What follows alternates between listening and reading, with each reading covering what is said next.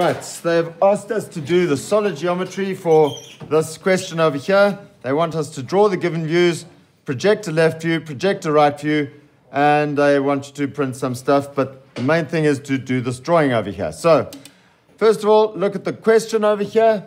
Um, just going to zoom in there so you can see that question. You've got a pentagon, but it's been drawn at that 30 degree angle. That's very important. The length of the side is 23 millimeters. Right, so let's have a look. They've given us a starting point A over here. Okay, starting point A, and they want you to draw that first length of side over there. Just draw a little line out there, and we know that the side length is 23. If you set your pair of compasses to 23 millimeters, go to point A over there, and you can straight away draw a circle with that radius of 23.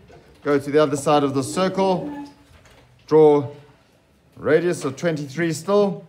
Come down to the bottom over here, draw a radius of 23, just going around like that. You draw a line going at a perpendicular bisector line, going up through that intersection and that intersection. Once you've got that, you can draw a line which goes from that intersection of those circles through the intersection of the perpendicular bisector and that arc over there and you are then able to find a point up here which will give you a 72 degree angle for that side of the pentagon and that length of side is the same as the base length over here because the radius for that circle is the same as the radius for that circle. Okay, I need to find that side as well. Take a line going from that intersection of those two circles through the same point where the perpendicular bisector goes through the arc over there, and you've got that 72 degree over there for the pentagon side. Once you've got that, your compass, pair of compasses are still set with that 23 millimeter radius. Go up there, arc off. If you've drawn accurately, you'll find that that arc is perfectly on that perpendicular bisector, and you've got a perfect pentagon. Right, this is where it gets complicated for some people. They go, oh dear, I need to find the center of this. Where is that center? Um, the way that I would do it is just come over here. You've got that circle over there. If you come to this side of that little bisecting, uh, that little line, that line, uh, side length, you can draw another circle also with that 23. And by drawing a line going along here, you will have found the center of your, um, your pentagon. You can draw these lines coming from the corners of the pentagon to the center of your pentagon now, and you will then be able to draw your front view using the information from this top view. Right, once I've got that in place, I can now draw lines coming up over here, construction lines coming up from all of these corners.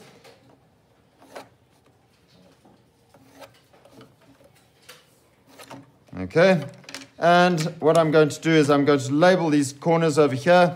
You've got point A over there. I'm going to call that point 1, point 2, point 3, point 4, and point 5. Okay, those points are all going to be along this xy axis over here. So I've got point 5 over there, point 4 over there, point 3 over there, point 2 over there, and point 1 over there on that xy axis. The height of this uh, this pentagonal pyramid is, 50, uh, is 45, so I measure off 45 millimeters over here, come over here, and mark off 45 millimeters. Right, look over here. You should have the apex over there. Take a line up from the apex, and your 45 millimeter height over there should be at the top of the apex over there. Once you've done that, you then need to have a look and see I've got an edge over here going from 0.5 to the apex, which I'm going to call 0. There's 0 as the apex. I also have this side over here um, going from there down to 2. Those are obviously edges. They have to be in the drawing. They need to be drawn as dark lines. Then you'll see they've got some hidden detail over there. They sometimes give these questions where they will give you an incomplete um, pyramid and you would need to decide as to what lines need to be done as hidden detail and what lines need to be done as dark. If you place yourself in the picture over here, you are standing over here, you're looking across at this thing. The first line that you see is this line 1, 0 over there. So that line needs to be done as a dark line. Right? Um, if you look over here, 3, 0 is behind this thing. That needs to be then done in hidden detail. And 5, 0 needs to be done I mean 4-0 also needs to be done as hidden detail because it's behind the object. Right, once I've got that in place, I now need to draw the left view and the right view. All right, I do not want you to use those 45 degree lines. If I see that you're using them, I'm actually going to take some marks off. I want you to use your pair of dividers. Take the points. I'm going to start with point 1 over here. There's the distance from point 1 to the xy axis.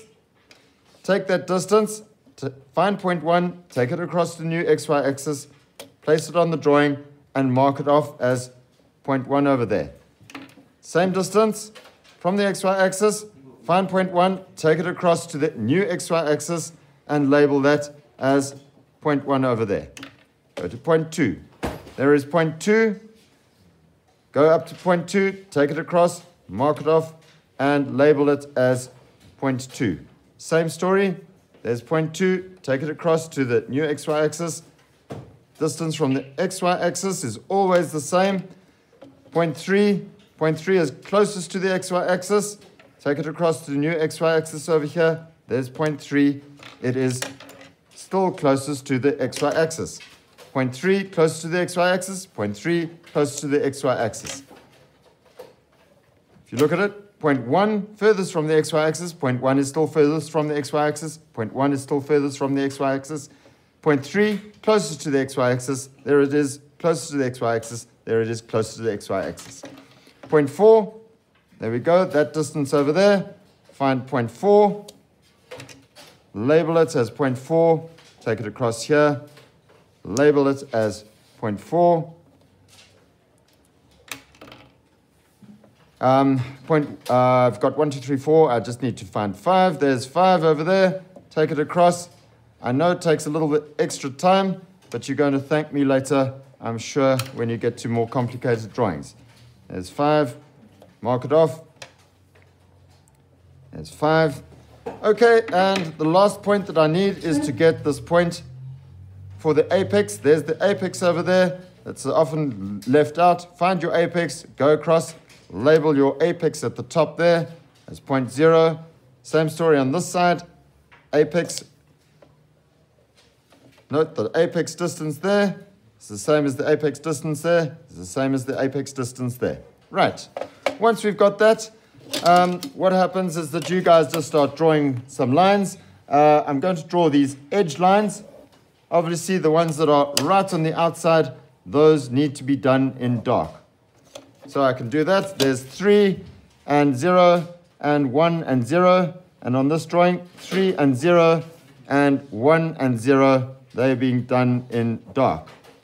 And then we come to the part where you need to decide what lines need to be done in hidden detail, what lines need to be done in dark. Place yourself in the picture. This over here is my left view. Place yourself on the left-hand side of the drawing. What am I seeing first? I'm seeing line 50. So line 50 in this will be done as a dark line. Right? In this, um, what is right at the back over here? It is 20. 20 needs to be done as hidden detail. You can see that, it's right at the back. If you're standing over here, can I see 4, 0? 4, 0, if I'm standing over here, you can, you can see that I'd be able to touch that. So 4, 0 over here would be done as a dark line. All right?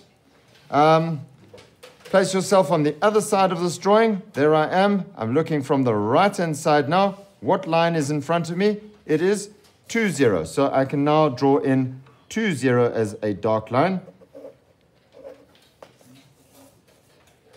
Standing over here, you can see that I cannot see 5 0 at the back there. So do 5 0 as a hidden detail line.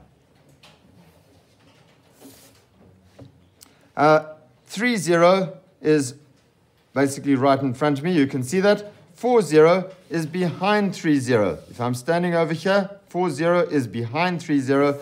So 4 0 is going to be hidden detail. Always place yourself in the picture. Try to figure out what it is that's in front of you. Draw that in dark and then try and figure out what lines are going to be done as dark, what lines are going to be done as hidden detail.